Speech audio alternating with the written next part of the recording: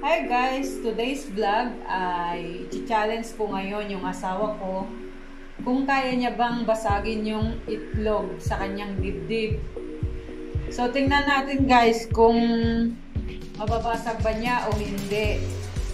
So bago tayo mag-start guys, uh, don't forget to subscribe my channel, Jean Sky Urbina and click the no notification bell para updated ka sa lahat ng videos ko. So, let's start guys!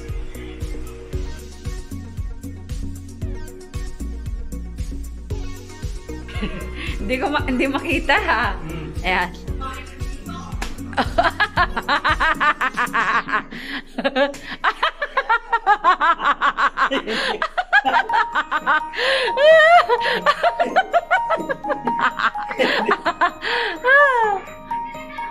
One, two, three.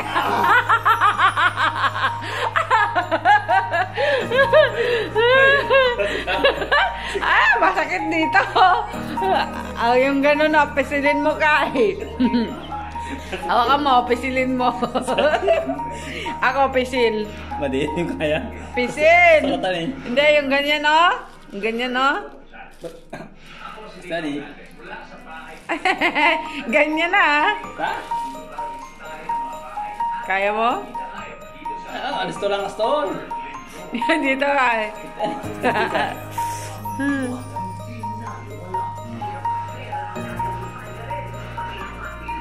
One, two, three. One, two, Ala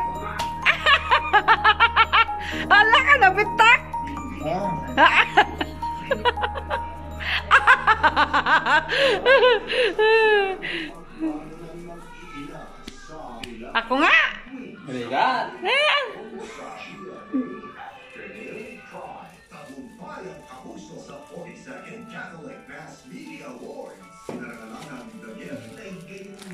Space of the Ano ba? Dito? Tata. Oh, nasakit. Ah, eh. Nasakit. Pataas mo lang. Nasakit! Pini. Oh. Mak ito tadi lang dito. Madi ata dito lang na. Awan dito ni. Madi. Wag masakit dito.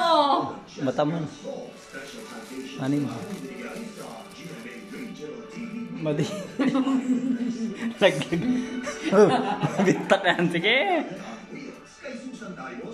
Hahaha.